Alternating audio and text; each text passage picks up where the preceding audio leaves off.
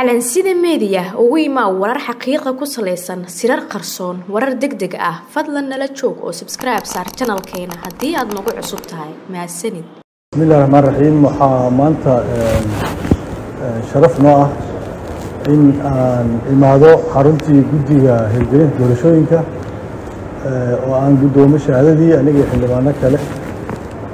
Runtii waxaan u mahad marka hore guddiga hawsha adag soo qabtay ilaa haddana haya oo ka shaqaynaya sidii uu gabagaboobi lahayd inta ka dhiman howlaha doorashooyinka. Waxaan kaloo rabaa inaan xoogga saaro mahadcelintaas kadib in afar iyo tobanka oo ah maalinta loo asteeyey in dhaarashada xildhibaanada labada aqal la sameeyo ay tahay maalin aad iyo aad muhiim u ah dadka soomaaliyeed iyo dowladdhiskooda intaba waxaa la soo maray marxalo aad u adag oo ay doorashooyinka jiitameen sanad iyo ka badan oo dalku intaas oo ka jira firaaq dastuuri ah halisna loogu jiro in dowladnimadii iyo geedi socodkii dhismaha dowladnimada uu halis galo. Sidaas daraaddeed waxaan rabaa inaan adkeeyo afar iyo tobanka inay tahay maalin dadka soomaaliyeed oo dhan muhiim u ah taariikhdooda geedi socodka dhismaha dowladnimada iyo nabadda. Intaba muhiim u ah inaan dhammaanteen xoogga saarno in aan maalintaas xaqiijinno oo uu dalku yeesho xildhibaano iyo baarlamaan labadiisii aqal oo ah unuga ay ka bilaabato dowladnimada soomaaliya caqabad kastoo loo dhigana in laga hortago oo cid kastoo isku dayda inay carqadaysana dhinac dadka soomaaliyeed iyo dadka ka shaqeeya arrimaha siyaasadda iyo shacabka guud ahaan iyo beesha caalamkao dadka soomaaliya garab taaganba inaan ka wada hortagno. Waxaan kaloo rajaynayaa in intaas ka hor tabashada ay qabaan walaalaheen koonfur galbeed xal loo helo oo la isku dayo way dhici jireen doorasho walba tabasho ayay leedahay waa uun dad unbaa si kuraastooda doorasho loogu celi jiray ama loo qaban jiray. Xalkeedana waa la gaari jiray waxaan rajaynayaa. Laakiin tabashadaas in la garabsado oo ay noqoto tabasho ay deegaan dhan ay qabaan dadka soomaalinaga ma jeclin. Cid in laga dhammaado cidna laga tago cidna laga tashado ma jeclin. Runtii mana dhiiragelinayna laakiin waxaan rabnaa in ay madaxda koonfur galbeed madaxweynaha iyo iyo dadka kale oo la taliyaashiisa ahba in ay tabashadaas iyada ah ay tahay tabasho legitimeeda loo baahan yahayna in la laakiin aysan u xayirnaanin howlihii dowlad dhiska soomaaliya. Waxaan rajaynayaa guddiga ama dadka isxulqaada arrintaas ku howlan inay arrintaas guul ka keenaanna waan rajaynayaa. Waxaan kaloo rabaa inaan dul istaago qabanqaabada la sheegay dabaaldega loo sameynayo labaiyo tobanka abriil oo ah maalintii la aasaasay ciidanka xoogga dalka soomaaliyeed. Marka hore waxaan u hambalyeynaynaa ciidanka xoogga dalka soomaaliyeed munaasabadda labaiyo tobanka abriil oo ah maalintii la aasaasay.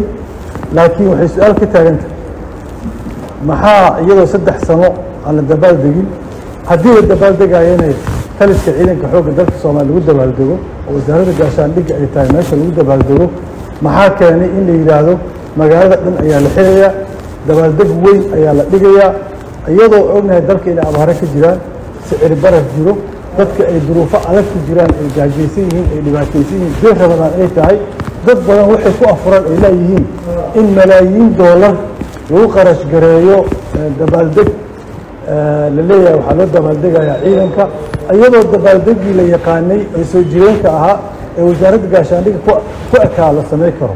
Sidaas daraaddeed halkan waxaan rabaa inooga baaqo saraakiisha ciidanka xoogga dalka soomaaliya ixtiraam baan inii haynaa sharaf baan inii haynaa.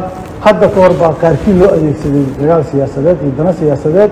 Waxaan cabsi ka qabnaa in dana siyaasadeedoo kaloo guracan lin isticmaalo oo lin adeegsado. Kow waxaan rabnaa taliska ciidanka inuu ka bixiyo caddayn dabaaldega iyo intuu la egyahay. Waxaan kaloo rabnaa inaan dadka xoogsatada ee bisha ramadaan afurkooda la tacaalaya waddooyin laga xirin hajdo laga goynin.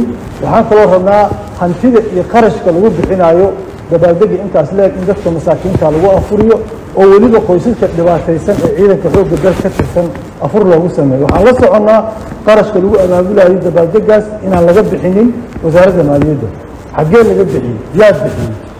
Dadka masaakiinta ha loo leexiyo dabaaldegana kii ku ekaa wasaaradda gaashaandhigga iyo taliska ha ku ekaado sidii la aqoon jirana ha ahaado yaana loo isticmaalin dana siyaasadeed iyo ujeedooyin guracan arrintaas waa ka digaynaa shacabka soomaaliyeed guud ahaan iyo ku nool magaalada muqdishona waa inay digtoonaadaan inaanan loo soo hoos marinin dabaaldegaas dana guracan sidaas daraaddeed mar kalean ku celinayaa taliska ciidanka iyo saraakiisha sarsare ee ciidanka xoogga dalka waa inay dadka soomaali u caddeeyaan waxa ay tahay dabaaldegan iyo waxa kuwa guudan aynan bannaanka u soo dhigaan inaysan wax mugdiga ku jirin dabaaldega isaga ah. Kuna ekaado xarumihii lagu samey jiray markii horeba ay ka dhici jirtay.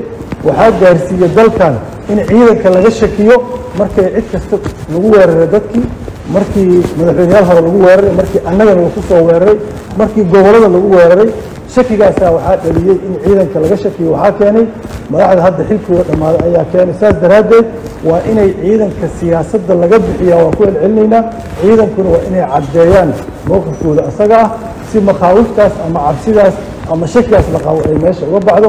Dhammaanteen waxaa noo ballama dhaarta afar iyo tobanka ah oo aan u qaadanayno inay tahay maalin dalka soomaaliyeed gobonnimadiisa iyo dowladnimadiisa aasaas oo waa mahadsantihiin wasalaamu calaykum waraxmatullah fadlan dib u daaw wararkeenii hore ee calansida media. Wararkii ugu dambeeyey dagaal xooggan oo dhex maray ciidamo ka wada tirsan nisa islamarkaasina dhimasho iyo dhaawac xooggan ayaa la soo sheegayaa wararka naga soo gaaraya magaalada marka ee xarunta gobolka shabeellada hoose ayaa sheegaya in maanta gudaha magaalada uu iska hor imaad xooggan ku dhex maray askar ka wada tirsan ciidanka nisa iska hor imaadkani ayaa yimid kadib markii qaar ka mid ahay ciidanka nisa ay isdhaafsadeen hadallo xanaf leh oo qabiil ku saabsan taasi oo markii dambe sababtay in ciidanku uu noqdo laba dhinac iska soo horjeeda waxaa dagaalkani labada ka dhex qarxay ciidanka nisa ku geeriyooday inta la og yahay ilaa iyo saddex ruux oo ay ku jiraan laba askari oo nisa ka tirsan iyo qof shacab ahi. Sidoo kale waxaa la soo warinayaa inuu jiro dhaawacyo culus oo ka dhasha iska hor imaadkaasi ciidanka nisa oo aan ilaa iyo hadda si rasmi ay loo xaqiijin sida ay ogaatay warbaahinta saraakiisha afar iyo tobanka oktoobar ee ku sugan magaalada marka iyo talyaanaba. Sugidda magaaladaasi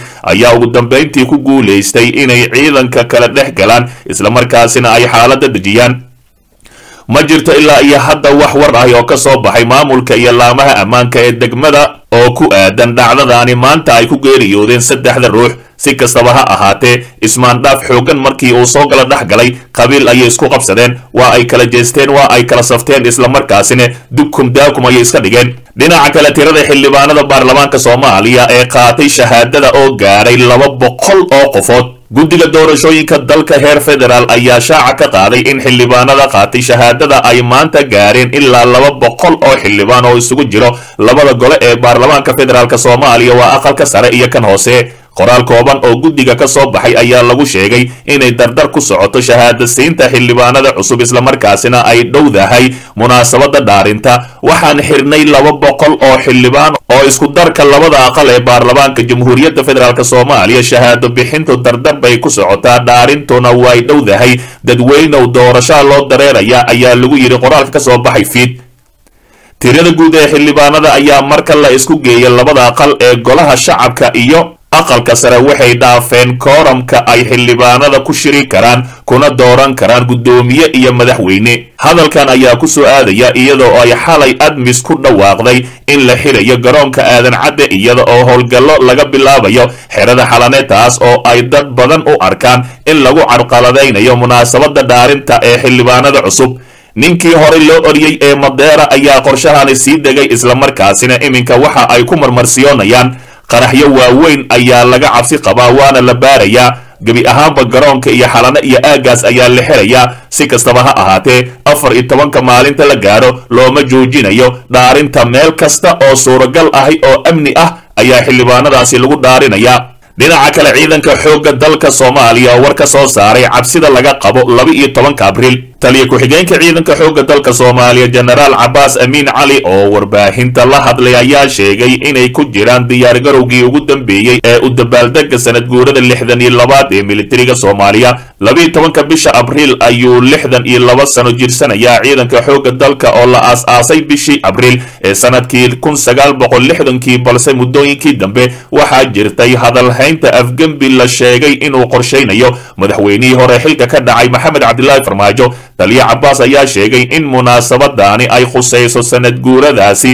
oo keliya islamarkaasina ka talis ahaan ay ballan qaadayaan in qorshe kale aan lagu hoos qarin doonin munaasabadaasi waxaan caddaynayaa oo aan ummadda soomaaliyeed u sheegayaa in ciidanka xoogga dalka soomaaliyeed oo u dabaaldegi rabo maalintiisa oo ah labiiyo tobanka abril ayuu yidhi. Jenaraal cabbaas ayaa intaasi ku sii daray waxaan nahay dadkii dhiigooda u hurayay dalka. Ujeedo kale oo aan wadan karno ma jirto cid cadow aan la dagaalayno. Midka gudaha iyo kan dibadda ayaa naloo aas-aasay oo naloo dhisay ayuu yidhi taliyaha ayaa sheegay inay soo gaareen wararka laga faafiyey ee tilmaamaya in militariga uu maalintaasi ku dhaqaaqi doono qorshe xukun militari ah balse wuxuu fidinta warkaasi ku eedeeyey dad dano siyaasadeed leh. Taliya ku-xigeenka ciidanka xoogga cabbaas ayaa sidoo kale ka warbixiyey diyaargarowga xuska labiiyo tobanka abriil isagoo qof kasta oo ay xafladaasi ku casumeen ka codsaday inuu uga soo qayb galo si kalsooni leh oo farxadooda uu la qaybsado ayuu yidhi. Dhegaystow ogow haddaadan xalka qayb ka noqon waxaad qayb ka tahay dhibaatada dalka